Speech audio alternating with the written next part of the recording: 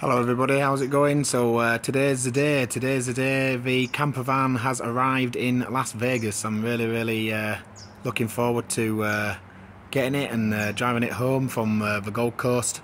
Um, the transport guys uh, meet me down there, so um, just gonna I'm gonna get an Uber down. I was gonna go down in my car, but then I thought, well, I'm gonna have to go back down later on and get my car. So I thought I might as well just get an Uber down and and just drive it back when I'm not messing around having to, you know, go back down there later on and get my car. So um, yeah, we're going to bring it up. Unfortunately, uh, my housemate uh, is parked in the spot where my camper van's going to go, so he's going to have to park on the street or find somewhere else to park because uh, that's going to be my parking spot. Um, I'll probably end up parking my truck over here actually because I used to park my truck here before. I used to park my truck here. Uh, to tell you the truth, mm, I don't know, it depends how wide this this gap is. I think it's a little bit too narrow. One, two, three, four, five, six, seven, eight. Oh, okay. Well, it's about eight foot, so it's about just short of nine feet.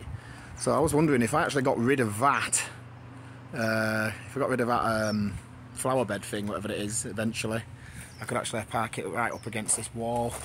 If I had it right up against the wall as well, then, uh, you know, it protrude out just a tiny little bit maybe only a little bit, maybe about a foot.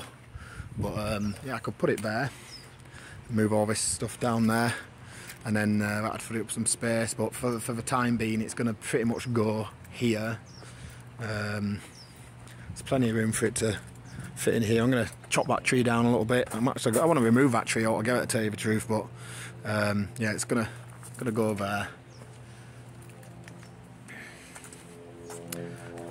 So yeah,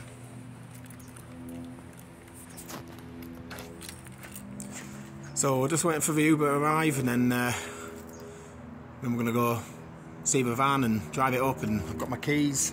Uh, I've just got all the import documents as well, the EPA documentation and everything as well. That's all just been sent over to me today. So pretty much getting uh, ready to uh, have all the paperwork to register it as well. Uh, I've just got all the German title um, uh, titles converted into English.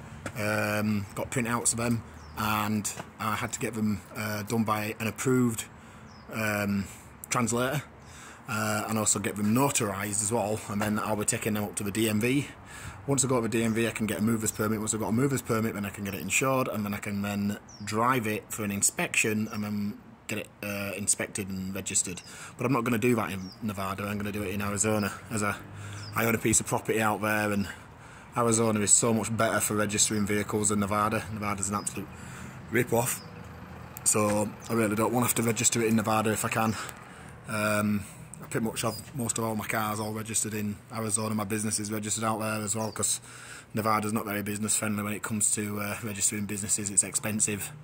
Um, you can't. Uh, your business license isn't perpetual either. It's um, you have to renew it every year, and it's like 600 700 dollars. So um, yeah, that's why I moved my business over to um, Arizona. It's uh, more cost effective, unless you're a billionaire, big corporation, and you pay a flat rate of uh, income tax. Uh, for being a casino, then it's beneficial. But if you're a small business, um, I don't think uh, Nevada's all that all that all that great to tell you to run a business. But anyway, back to the camper van.